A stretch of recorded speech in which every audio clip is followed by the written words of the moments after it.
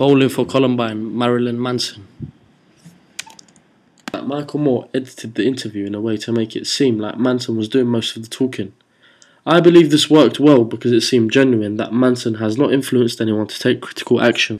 I believe that this interview style is very laid back and informal by the way Marilyn is sitting, foot placed on armrest that Michael and Michael was sitting on. Michael Moore uses open questions, such as, What would you say to the kids of Columbine? We could see from Manson's face that he was not nervous to answer the question, and then he responds, I wouldn't say anything. I would listen to what they have to say, and that's what no one did.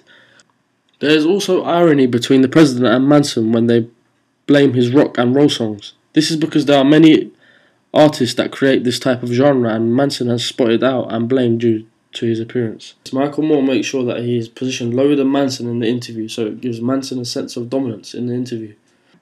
He also states why they would blame him because of his appearance.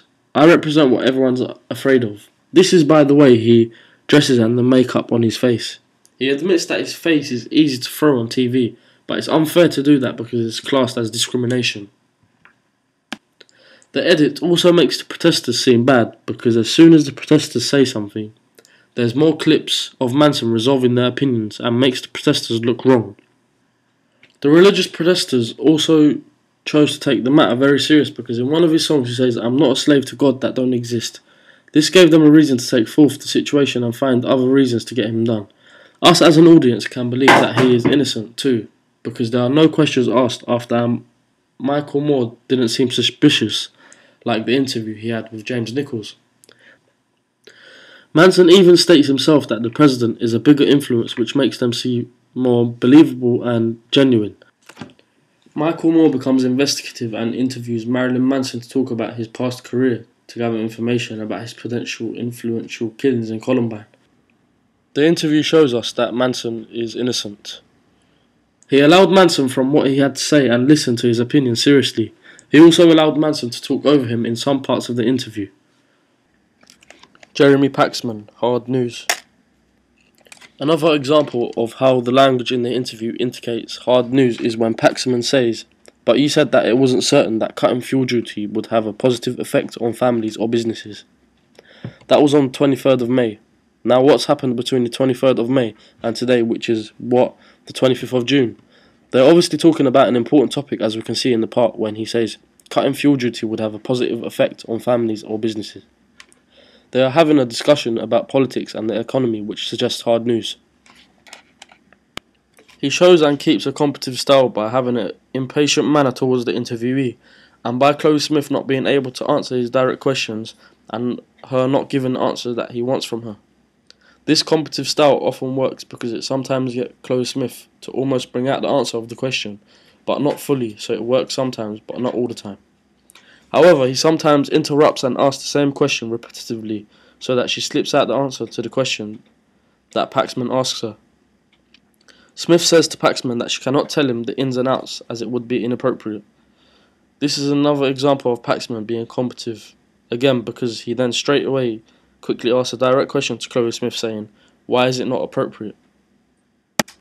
However, the main interview style that comes across is the adopted technique of being combative. We can tell as an audience that this is the main interview technique that is used throughout the interview because of Paxman's attitude and the tone of voice that he uses when responding to Chloe Smith. At one point in the interview, Paxman asks Chloe Smith a direct and open question aimed at Smith, saying, When was the decision taken? In which then Chloe Smith answers very vaguely, which resulted in Paxman interrupting her midway through her response, repeating the same question in a manner where he wants to respond and give a clear answer to the question. Furthermore, Paxman responds in this sort of manner because he is trying to suggest or imply that she doesn't know what she is saying or she doesn't know the purpose of her presence or the topic that is being spoken. However, she does know but doesn't want to give away when and what the change in policy was as we can see from her response. There is evidence where I can suggest that this is hard news where Chloe Smith replies to Paxman saying it would not be appropriate. And then he responds by saying, You are coming here to change a defending policy, in which is a hard news subject and is serious.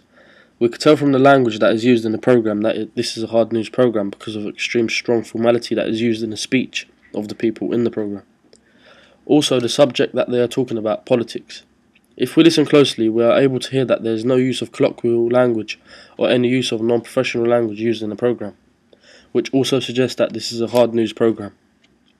The use of terms in the program also suggests it is hard news. For example, Jeremy Paxman states to Chloe Smith, You've come here to defend the change of policy, and you can't even tell me when you were told what the change of policy was. This suggests that this is hard news because we can obviously see that the subject of the interview is important.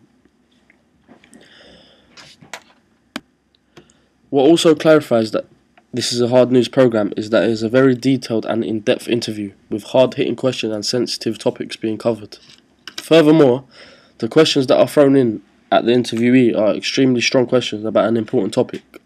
The issues that are discussed on the show are usually based on politics. The fact that the politics is being spoken and serious issues are being discussed, this also suggests to us as an audience that this is hard news. The suit and tie. This dress code is usually used on formal occasions. By dressing like this, the audience will instantly know that this is a serious discussion and what the tone of the discussion might be.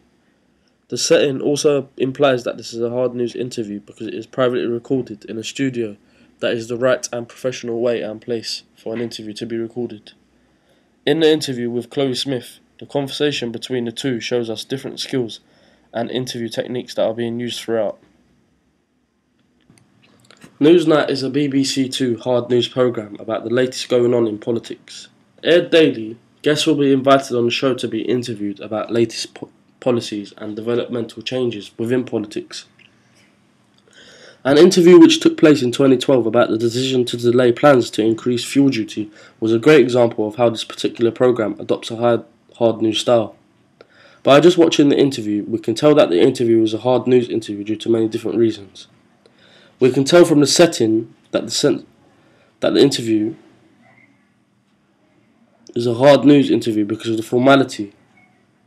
As we can see in the interview, they are both dressed in a very sensible manner and a formal manner, in which then this applies that the interview is taken extremely seriously and to an extent is important.